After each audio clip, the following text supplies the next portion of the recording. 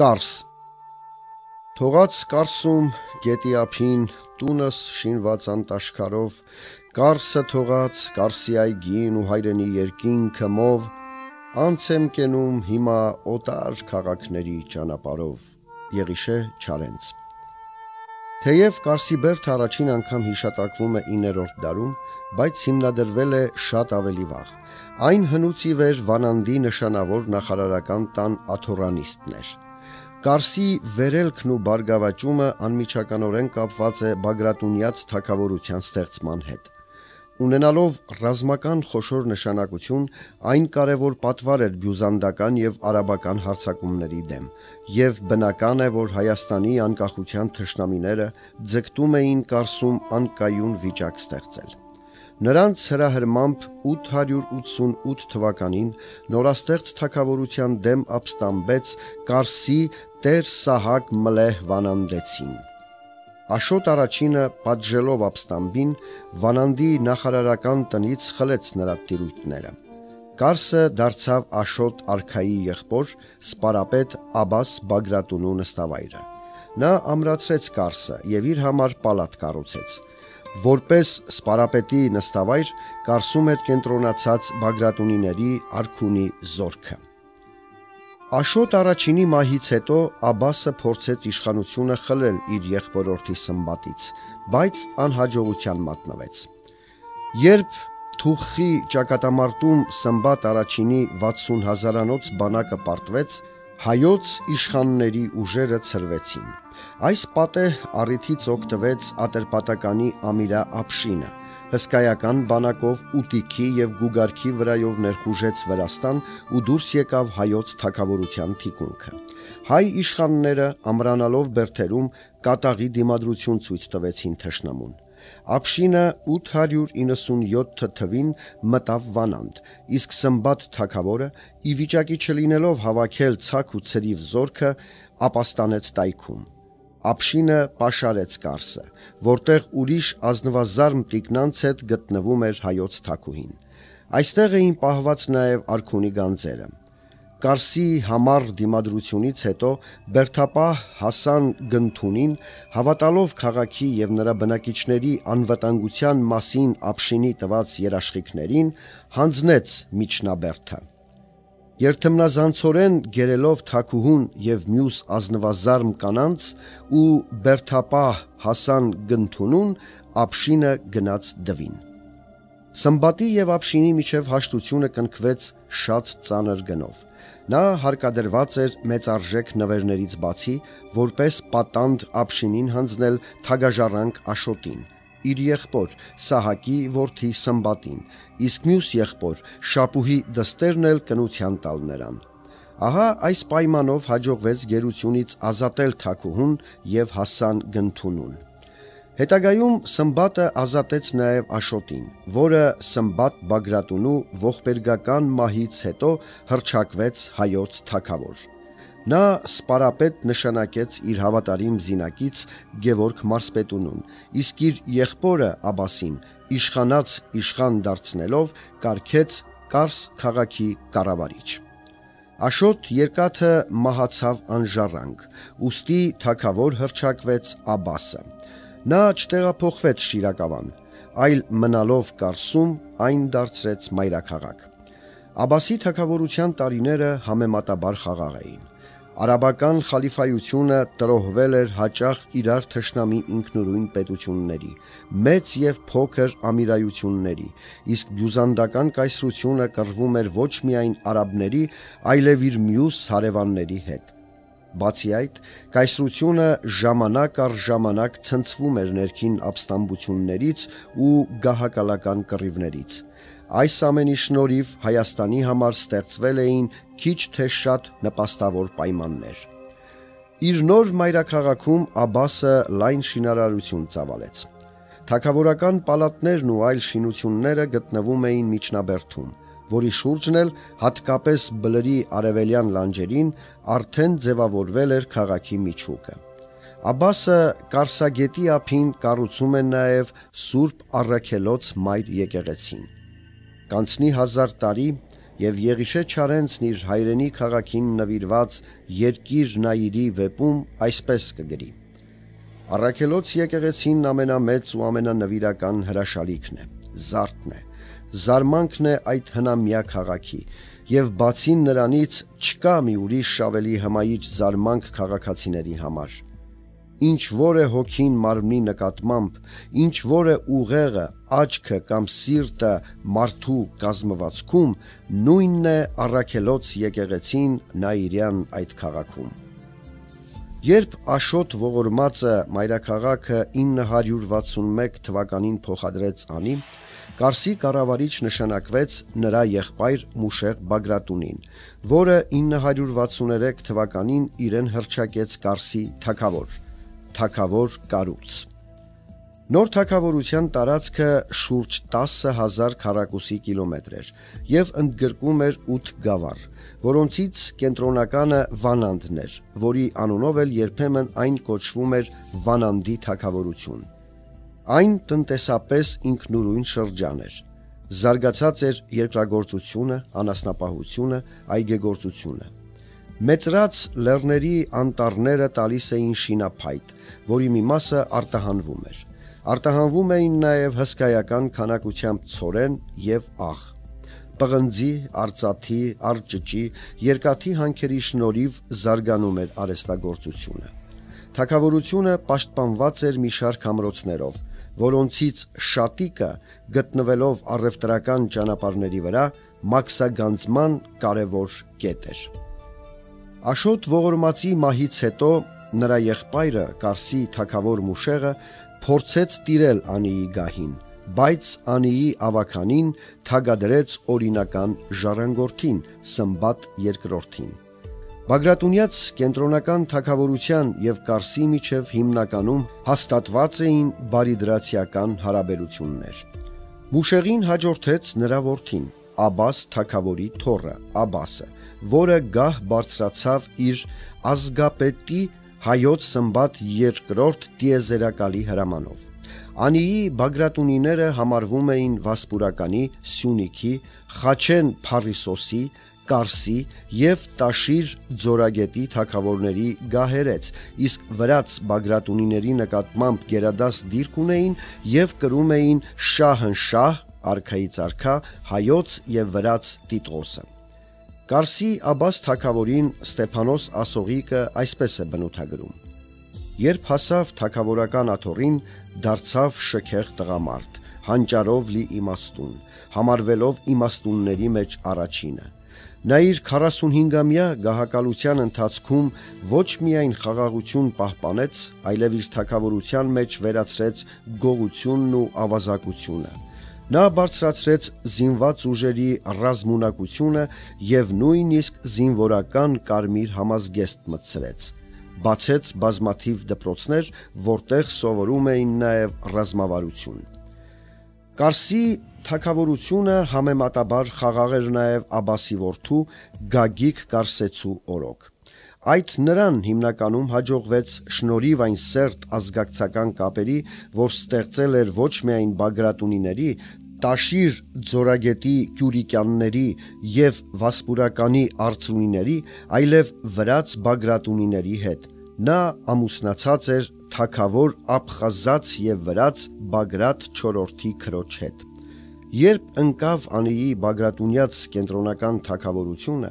հայ Բագրատունիների ավակ ներկայացուցիչը մնաց Գագիկ Կարսեցին, որը եւ ձևականորեն կրում էր Շահնշահ Տիտղոսը։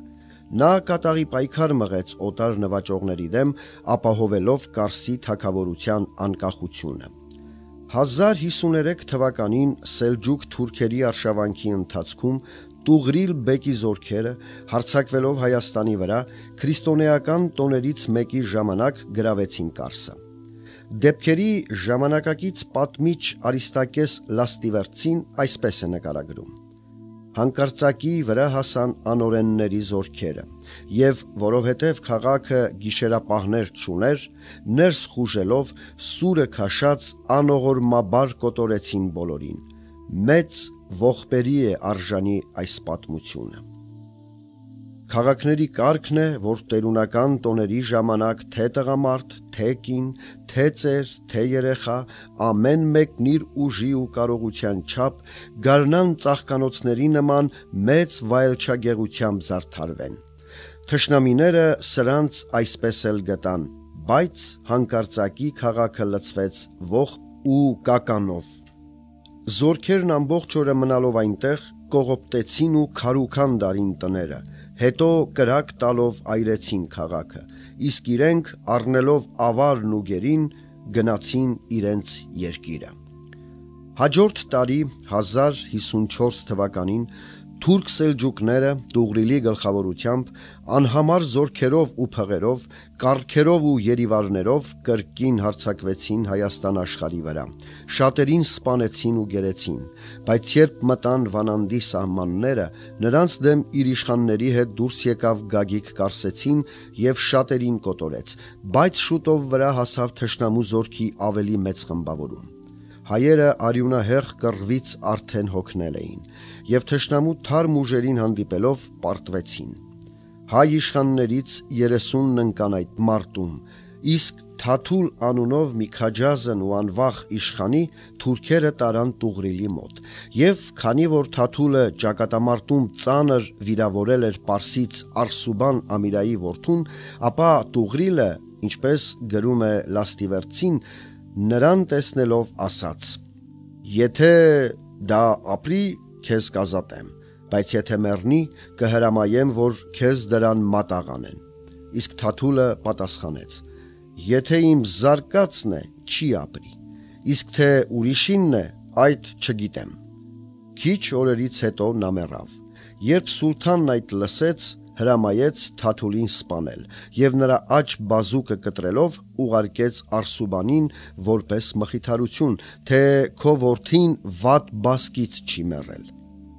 Սելջուկների հեռանալուց հետո Կարսի թակավորությունը պահպանեց իր անկախությունը, բայց այս արշավանքից ուղիղ 10 տարի անց 1064 թվին այս անգամ Ալփ Արսլանի գլխավորությամբ քանզի Տուղրիլը մեռել էր նախորդ տարում, կրկին ասպատակեցին Հայաստանը։ Գագիկը իր թակավորությունը ավերածությունից փրկելու համար, ինչպես Մատթեոս Ուրհայեցին է վկայում, դիմեց դիվանագիտական քայլի։ Նա հակավ սքավորի հանդերձներ եւ նստեց սև բարձի վրա։ Երբ սուլթանի դեսպանը նրան այդպես սքավոր տեսավ, ցանկացավ իմանալ պատճառը եւ հարցրեց. Ինչու ես սև հակել չէ որ դու թակավոր մարդ ես։ Գագիկը պատասխանեց, թե երբ մեռավ իմ բարեկամ Տուղրիլ սուլթանը, Աբասլանի եղբայրը, ահա այն օրվանից եմ ես այս սև հանդերձները հակել։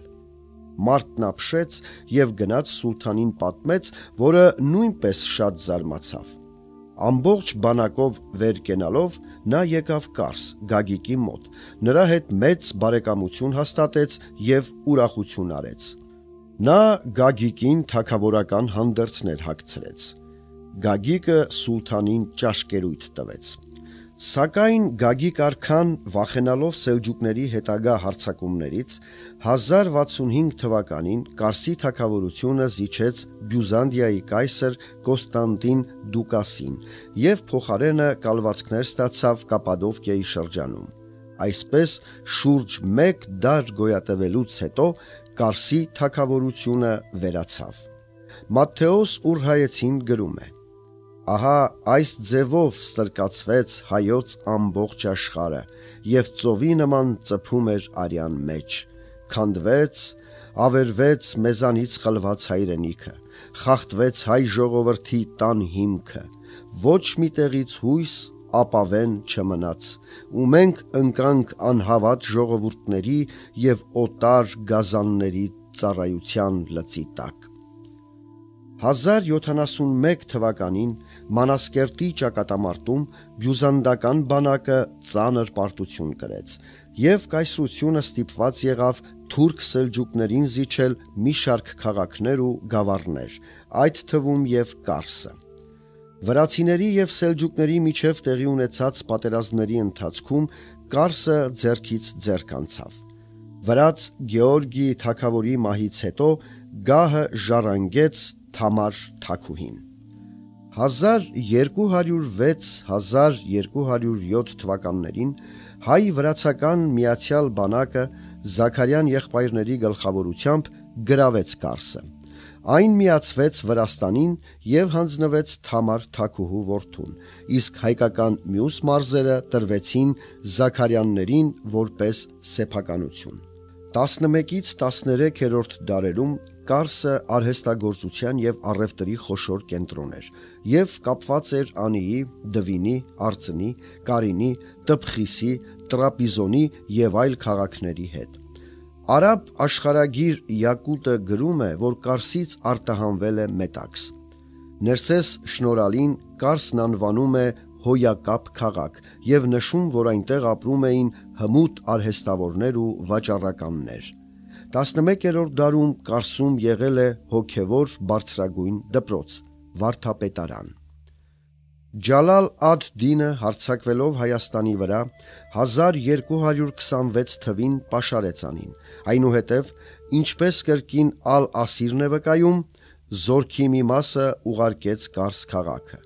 Դրանք երկուսն էլ այդ երկրի ամենաամուր եւ անառիկ բերթերից են։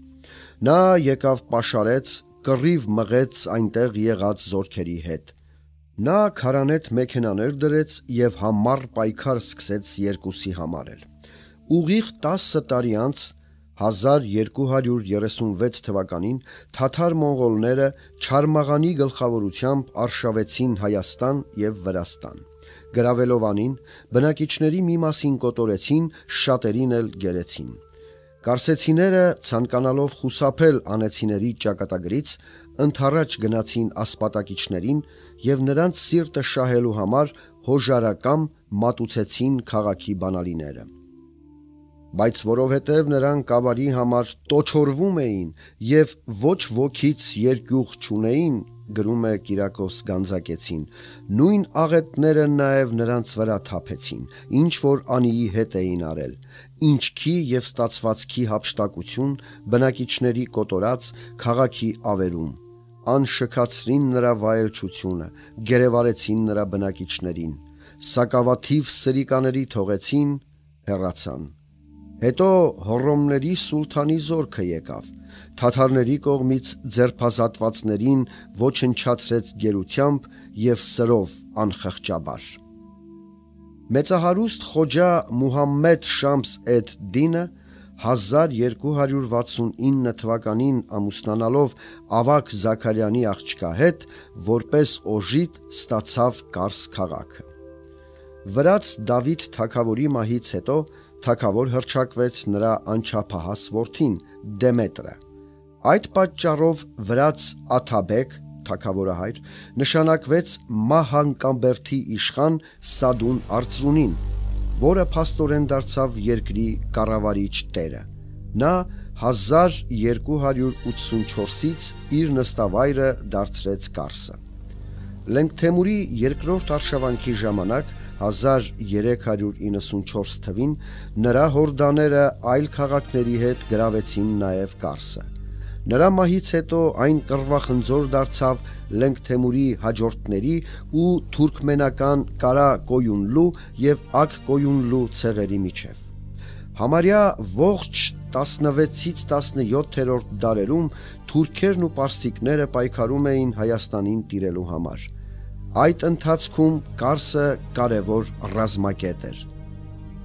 Թուրք սուլթան Սուլեյմանն առաջինը Կարսը նվաճելով ամրացրեց Բերթը, սակայն Թահմաս շահը երկու անգամ գրավելով Բերթը քանդեց, բայց հետո կրկին ստիպված եղավ զիջել թուրքերին։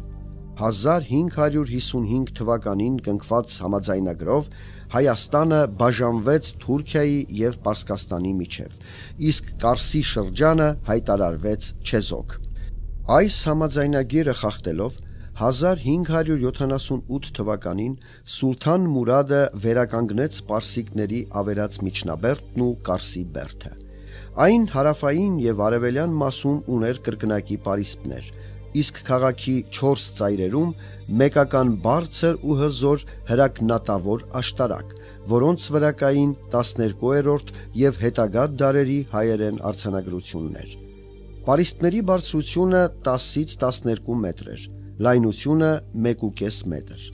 17-րդ դարի թուրք ուղեգիր Էվլիա Չելեբին նշում է, որ Կարսի քարակոպ պարիսպներն ունեին երկաթե դարպասներ, 220 աշտարակներ, 2080 պատնեշ եւ պատվար։ Հետագայում Եղիշե Չարենցն այսպես է նկարագրել նրա ավերակները։ Բերթից քարե այդ վիթխարի սնդուկի երկու կողքերից սկսվելով ծուռումուռ հսկա սապատավոր ուխտերի նման դեպի վար, դեպի քաղաքն են իջնում քաղաքի երբեմնի պարիսպների հիմիկվա մնացորդները։ Առաջ շատ հնում քարե ուխտերի անընդհատ ձգվող մի քարավան է եղել, ամրակուռ մի պարիսպ, որ Բերթից իջնելով անցնելիս է եղել գետը եւ ամբողջ քաղաքն իր մեջ առնելով տարիներ շարունակ պաշտպանել է բնակիչներին չարից ու ոսոխից բայց հիմա քարե այդ հսկա ուխտերի սապատներն են միայն ծուռ, կոշկոչ բլուրների նման տեղ-տեղ մնացել։ Մնացել են հիմա այն հին պարիստների զարմանք հետքերը միայն։ Մեկն այնտեղ ահա Բերթի պատերին կպած, մյուսն այնտեղ գետեզերքին, մեկն էլ հերու հերուն քաղաքից դուրս։ Ամեն մեկը հիմա մամրապատ մի պատ է կատարյալ։ Չիմացողը կասի ով է այս բլուրի քարերը հղկել, ազնվացրել եւ մամուրով պատել։ Կարսի բերթը ավերվել է 1877-78 թվականների ռուս-թուրքական պատերազմի ժամանակ, իսկ մինչ այդ նրա ամրակող պարիսպներին զարնվելով ջարդվել են բազմաթիվ հորդաներ։ Շահ Աբասին հաջողվեց Կարսը գրավել միայն երկարատև պաշարումից հետո հայերի բռնագաղթը Պարսկաստան նվազեցրեց ոչ միայն Արարատյան դաշտավայրի, այլև Կարսի եւ հարակից շրջանների հայերի թիվը։ Ինչպես Պարսիկ պալատական պատմիչ Իսքանդար Մունշին է վկայում, Շահ Աբասը հրամայում է, որ Կարսի շրջանում մի քանի օրվա ճանապարհի տարածության վրա գտնվող շեն վայրերը ամայացվեն, իսկ դաշտերում եղած ցանքսերից արոտավայրերից ու բնակավայրերից ոչ մի հետք չմնաց։ 17-րդ դարի առաջին քառորդում Թահմազ Ղուլի խանը օգտվելով այն բանից, որ Կարսի թուրք կառավարիչների միջև տարաձայնություններ էին ցակել, որոնք լուծելու համար նրանք Էրզրումի փաշայի մոտ էին գնացել, ներխուժեց եւ մի շարք շրջաններ ավերելուց հետո Կարսի բնակիչներից շատերին գերեց տարավ։ 1639 թվականին թուրք-պարսկական նոր համաձայնագրով Կարսը մնաց Թուրքիայի տիրապետության տակ, բայց պարսիկները չհրաժարվեցին Կարսին տիրելու մտքից։ 1735 թվականին եւ 1747 թվականին Նադիր շահը պաշարեց քաղաքը, բայց գրավել չկարողացավ։ 17-ից 19-րդ դարերում Կարսը համանուն փաշայության կենտրոնն էր եւ իր հերթին մտնում էր Էրզրումի կուսակալության մեջ։ Իսկ հետագայում դարձավ առանձին վիլայետ։ Թուրքական տիրապետության շրջանում անկում ապրեցին քաղաքային կյանքը, արհեստներն ու առևտուրը։ Ռուսական զորքերը Կարսը առաջին անգամ գրավեցին ռուս-թուրքական պատերազմի ժամանակ 1828-ի հունիսին։ Կարսի թուրքական 11 հազարանոց կայազորն իր 151 թնդանոթով չկարողացավ երկար դիմադրել։ Սակայն հաջորդ տարի սեպտեմբերին Ադրիանապոլսի պայմանագրով Կարսը վերադարձվեց Թուրքիային։ Ռուսական բանակին աջակցելու պատճառով թուրքերի վրեժխնդրությունից խուսափելով 1830 թվականին շուրջ 5.5 հազար հայ Կարսից գաղթեցին Փամբակ շորագյալ։ Ռուս-թուրքական պատերազմից հետո թուրքերը կրկին ամրացրին Կարսի բերթը։ Կարսագետի բարձրադիր ափերին հիմնեցին նոր ամրություններ, որոնք միմյանց միացվեցին ճանապարհներով ու կամուրջներով։ Ղրիմի պատերազմի ժամանակ 1855 թվին ռուսները կրկին ցանկացան իրագործել իրենց վաղեմի նպատակները թուրքերը Կարսում կենտրոնացրել էին 38 հազարանոց լավ զինված բանակ։ 6-ամսյա պաշարումից հետո թուրքերը անձնատուր եղան եւ հանձնեցին Կարսը։ Սակայն այս պատերազմը Ռուսաստանի համար անհաջող վախճան ունեցավ եւ 1856 թվականի օգոստոսին նրանք կրկին թուրքերին վերադարձրին Կարսը։ Այս անգամ եւս քաղաքի եւ շրջակայքի հայ ու հույն բնակչության մի մասը ռուսական բանակի հետ հեռացավ։ Չնայած Ղրիմի պատերազմում կրած պարտությանը, ցարական Ռուսաստանը չէր հրաժարվում իր ազդեցությունը տարածել Բալկանների եւ Մերձավոր Արևելքի վրա։ 1877 թվականին սկսվեց ռուս-թուրքական նոր պատերազմ։ Իդեպ Կովկասյան ռազմաճակատում գործող ռուսական բանակի կազմում կային 7 հայ գեներալներ, 500-ից ավելի սպաներ եւ հազարավոր հայ կամավորներ։ Թուրքական ճակատում Կարսի գրավումը կարող էր վճռական նշանակություն ունենալ, եւ Կովկասյան կորպուսը հայազգի գեներալ ադյուտանտ Լորիս Մելիքովի հրամանատարությամբ իր գլխավոր հարվածը հասցրեց Ալեքսանդրապոլ Կարս ուղությամբ։ Կարսը արևելքի անառիկ բերթերից էր եւ արտաքին ամրությունների հետ միասին գրավում էր 40 կիլոմետր շրջագից եւ նրա պաշարման համար պետք էր մեծականակ բանակ մանավանդ որ քաղաքում կൂട്ടակված 30 հազարանոց թուրքական զորքն ուներ 300 հրանոթ որոշվեց այն գրավել հարցակումով եւ նոեմբերի 18-ի լուսաբացին գեներալ Հովանես Լազարևի գրոհային ջոկատները հայ կամավորների աջակցությամբ ճեղքեցին թուրքերի պաշտպանական գիծը եւ մտան քաղաք։ Վերջապես Կարսը նվաճվեց։ Նրա գրավմանը աչքի ընկան նաև ռուսական բանակի հայազգի գեներալներ Լազարևը, Ալխազովը, Մելիքովը եւ շատ ուրիշներ։ Պատերազմի ավարտից հետո Ռուսաստանին միացված տարածքից ստեղծվեց Կարսի մարզ, Կարս, Օլթի, Արդահան եւ Կաղզվան օկրուգներով եւ գրավում էր մի հսկայական տարածք՝ շուրջ 19000 քառակուսի կիլոմետր։ Այն կառավարում էր նահանգապետը։ Կարսը դարձավ համանուն մարզի կենտրոն, զարգացավ, ավելացավ բնակչության թիվը։ Մարզում բնակեցվեցին մեծ թվով ռուսներ, թուրքմեններ, հույներ, պարսիկներ, էստոնացիներ, գերմանացիներ եւ այլն։ Կարինից, Ալեքսանդրապոլից, Ախալցխայից, Ախալքալակից շատ հայեր գաղթելով Կարս նոր շունչ հաղորդեցին նրան։ Նախկինում Կարսը չէր կառուցապատվել ընդհանուր հատակագծով։ Փողոցները ծուռումուռ էին ունեղ։ Դրանք իրար էին միացնում քաղաքի ու միջնաբերդի դարպասները, հատվելով ստեղծում անկանոն ձևերով հրապարակներ։ 19-րդ դարի սկզբներին քաղաքում կար շուրջ 3000 տուն։ 1812-ին Կարս այցելելով Արևելագետ եւ դիվանագետ Ուիլյամ Աուզլեյը գրում է. Ես նկատեցի բազմաթիվ լավ քարաշեն տներ 4 կամ 5 ոտք դուրս փայտյա պատշկամբներով։ Շրջափեղկերը նույնպես փայտյա էին, ինչպես նաև պատուհանների խաչաձևված մասերը, որոնցում շատ քիչ շապակի էր գործածած։ Շինարարական ընդհանուր ոճը այս քաղաքը դարձնում էր ավելի նման եվրոպական հին քաղաքներին։ Եթե մի քանի բարձր ծխնելույզներ լինեին, նմանությունը ավելի զորավոր պիտի լիներ։ Նրան լրացնելով անգլիացի նկարիչ Քեր Փորթերը 1819-ին գրում է. Բացի վեհ տեսքից, որ նշмарվում է հերվից, նրա տպավորիչ միջնաբերթի դիրքի ու պարիսպների տարածության պատճառով տները մի քանի հարկ բարձ են թվում, մեծ մասամբ շինված քարից, տալով մասնավոր շքեղության մի կերպարանք։ Կարսի տների որոշ մասը դարավանդաձև դասավորված էր լեռան լանջին, միջնաբերդի ստորոտում։ Իսկ միջնաբերդը կարծես Կարսի թակավորությունից մնացած թագ լիներ քաղաքի գլխին։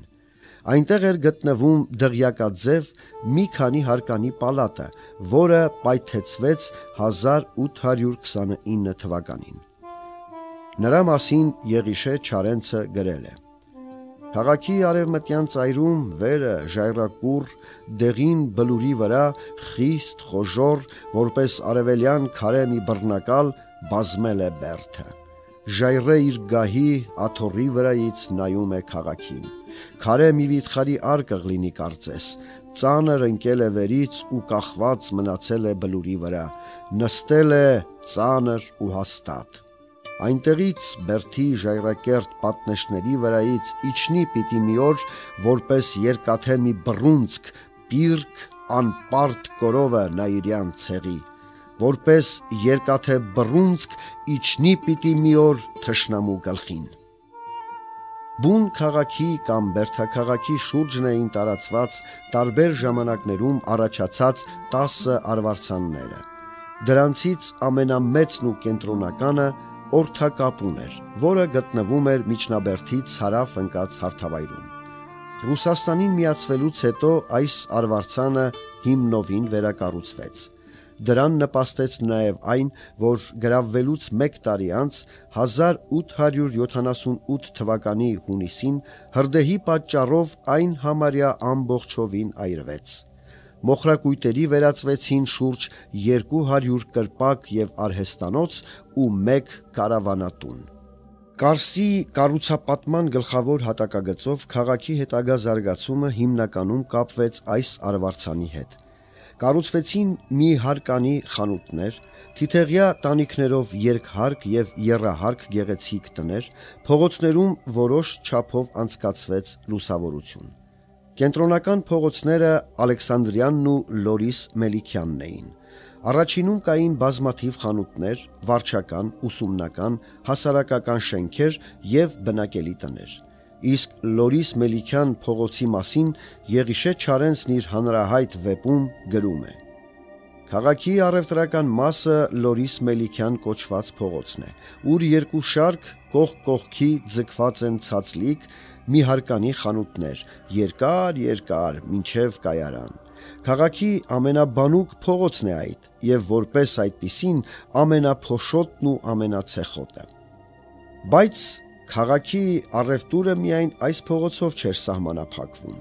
Հին փայտաշեն անկանոն շարված խանութներից ու կրպակներից բաղկացած նախկին շուկայի փոխարեն կառուցվեց ուղիղ միջանցքների երկու կողմերում տեղադրված քարաշեն խանութներով ու կրպակներով բարեկարգ շուկա։ Բացի այդ, Կարսում ամեն տարի կազմակերպվում էին տոնավաճառներ։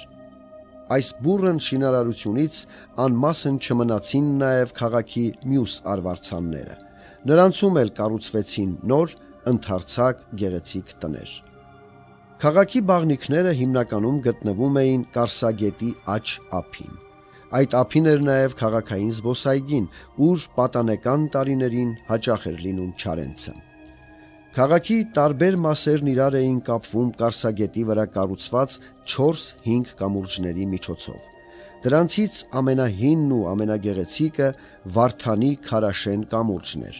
Մյուսներից մեկն ավերվել է 1880 թվականին, իսկ հին շուկայի մոտ գտնվող Փայտաշեն կամուրջը 1891-ին շարքից դուրս է եկել։ Չորրորդ կամուրջը, որ մետաղյա էր, կառուցվել է 1899 թվականին։ Այդ շրջանում Կարսում գործում էին 4 հայկական եկեղեցի։ 1915 թվականին կառուցվեց նաև 5-րդը։ Կային մեկական ռուսական եւ հունական եկեղեցիներ։ Կարսն ուներ նաև Իլյուզիոն եւ Տրիումֆ անուններով կինոթատրոններ եւ քաղաքային ակումբ աշխուժանում են նաև դպրոցական կյանքը։ Բացվում են մի քանի պետական դպրոցներ, արական եւ իքական ուսումնարաններ, գիմնազիա։ Բացի այդ, հայկական եկեղեցիներին կից գործում էին տղաների ու աղջիկների տարրական վարժարաններ, կային նաև մասնավոր ուսումնարաններ։ 1880-ական թվականներին նույնիսկ բացվեց մանկապարտեզ։ 1883 թվականից հրատարակվում էր Կարս շապաթաթերթը։ Քաղաքի տնտեսական կյանքը բավականին աշխուժացավ, երբ 1899 թվականին ավարտվեց Թիֆլիս Կարս շուրջ 300 կիլոմետր երկարության երկաթուղու շինարարությունը, որի վրա տարեկան աշխատում էր շուրջ 10000 մարդ։ Հայերը զբաղվում էին առևտրով եւ արհեստներով, մասամբ երկրագործությամբ, անասնապահությամբ եւ մեղվաբուծությամբ։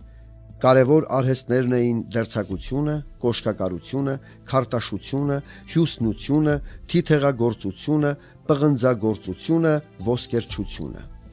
19-րդ դարի վերջերին քաղաքում կային 5 ալրաղաց, աղյուսի, օճառի եւ գարեջրի երկուական գործարաններ, սղոցարան, նաեւ գինու, օղու, կաշվի, կահույքի, կրի փոքր ձեռնարկություններ։ Զարգացած էին այգեգործությունը, բանջարաբուծությունը, ծխախոտագործությունը, շերամապահությունն ու մեղվապահությունը։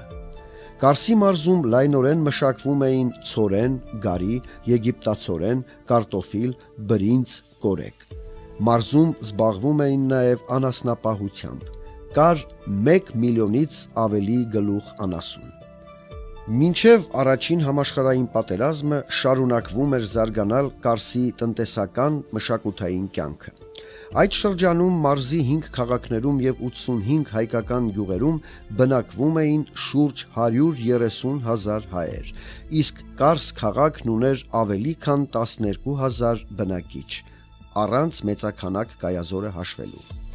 Առաջին համաշխարհայինի տարիներին եւս Կարսը Կովկասյան ռազմաճակատի հենակետերից էր, որտեղ կենտրոնացված էին հսկայական թվով ռազմական ուժեր եւ զինամթերք։ 1917 թվի մարտին Կարսի հեղափոխականորեն տրամադրված զինվորներն ապստամբեցին եւ ստեղծեցին զինվորների դեպուտատների սովետ։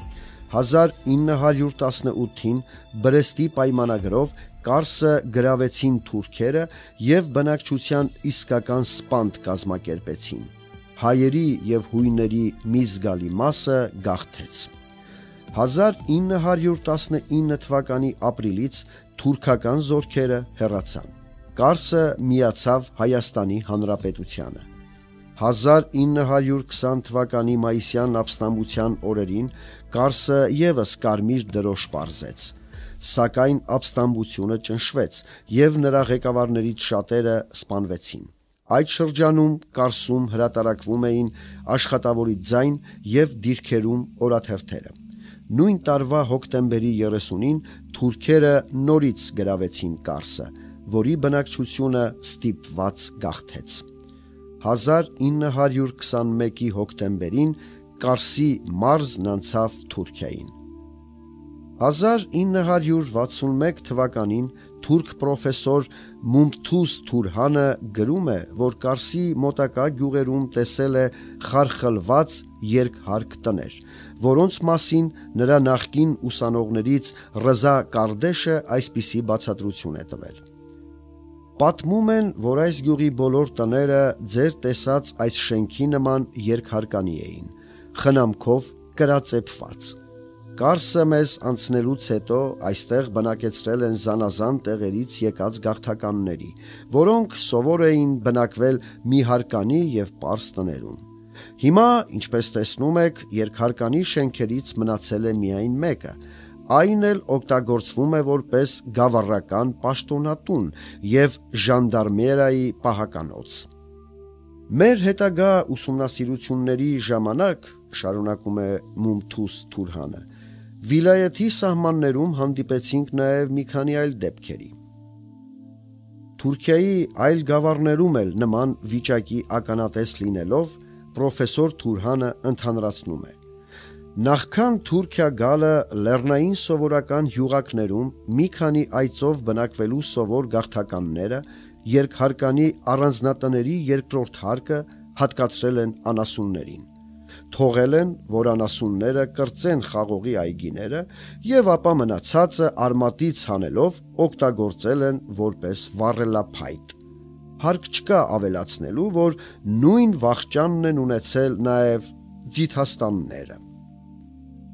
Այսօր Կարսն ունի շուրջ 54000 բնակիչ։ Կան երկաթուղային կայարան եւ օթանավակայան։ Անասնապահական եւ ոչխարաբուծական հումքով աշխատում են կատնարդյունաբերական, գորգագործական եւ գործվածքեղենի ձեռնարկություններ։ Ձայնագրող օպերատոր Վահան Նահապետյան կարդաց Սամվել Ղազարյանը